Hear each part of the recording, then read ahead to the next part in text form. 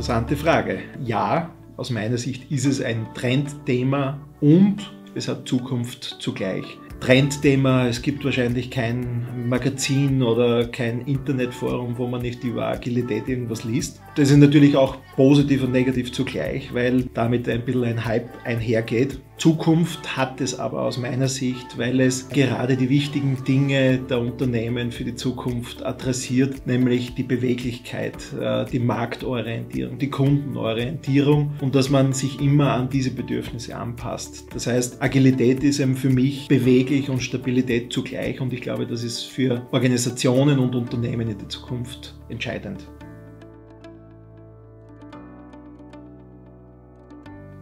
Meine Aufgabe als Geschäftsführer ist es, DRM Data erfolgreich in die Zukunft zu führen vorauszudenken, wohin wir uns entwickeln. Wie ich vor 25 Jahren in die Data gekommen bin, waren wir neun Mitarbeiter und in dieser Zeit sind wir gewachsen, wir haben uns weiterentwickelt, wir haben immer wieder unsere Organisation angepasst. Wir sind jetzt 90 Mitarbeiter bei der RM Data. Da bedarf es auch neuer Strukturen, neuer Organisationen und Agilität war für mich eine Möglichkeit, wie wir erfolgreich in die Zukunft gehen, indem wir selbstständige agile Teams einführen und diese für den Erfolg äh, oder an den Erfolg dann arbeiten für deren Data.